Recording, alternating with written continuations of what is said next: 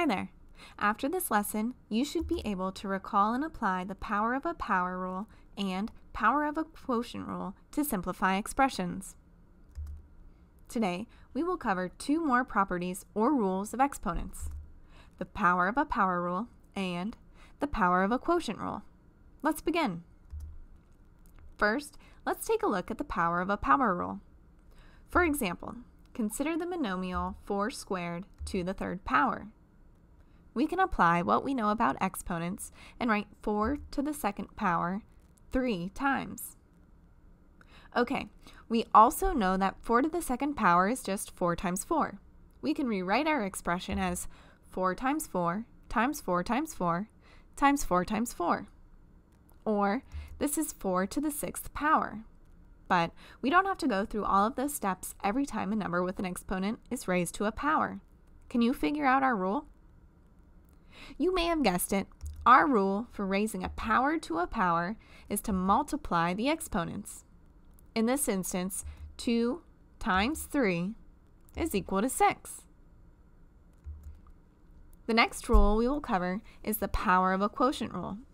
We can apply this rule when there is a division problem raised to some power. Using what we know about exponents, we can write this as 3 eighths times 3 eighths. We know that when we multiply two fractions, we multiply the numerators and the denominators.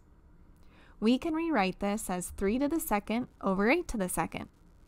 Notice the exponent has just been applied to both the 3 and the 8. Therefore, our rule for the power of a quotient is to simply apply the power to both numerator and denominator. Sometimes, we will have to use more than one property of exponents to simplify an expression. Take a look at the following monomial. To simplify, let's first apply the power of a quotient property by raising both the numerator and the denominator to the power of 4. Good. Now we can apply the power of a power property in the numerator by multiplying the exponents. 2 times 4 gives us an exponent of 8. Lastly, to simplify completely will mean to find the actual value of the expression. 7 to the 8th power equals 5,764,801 and 6 to the 4th is equal to 1,296. Written as a mixed number, this is 4,448 and 193, 1,296. Use the properties of exponents to simplify each expression below. We can apply the power of a power rule to help us simplify a. Using this rule, we multiply the exponents to get 3 to the 14th power. Completely simplified, we get 4,782,969. For b, we will use the power of a quotient rule. The power of 3 will be applied to both numerator and denominator. Simplified, we get x to the third over 512.